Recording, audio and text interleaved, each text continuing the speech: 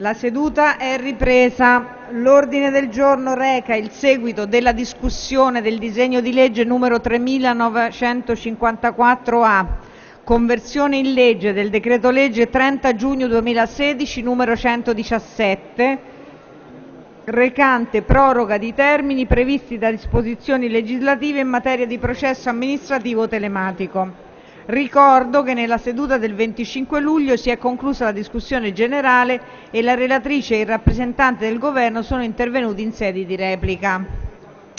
Passiamo all'esame dell'articolo unico del disegno di legge di conversione degli emendamenti riferiti agli articoli del decreto-legge. Avverto che la Commissione ha presentato gli emendamenti 1.100 e 1.101 che sono in distribuzione e in relazione ai quali risulta alla Presidenza che tutti i Gruppi abbiano rinunciato alla fissazione del termine per la presentazione di subemendamenti.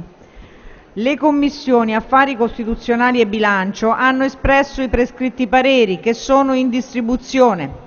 In particolare, in tale ultimo parere, la Commissione Bilancio ha condizionato, ai sensi dell'articolo 81 della Costituzione, il parere favorevole sul testo del provvedimento all'approvazione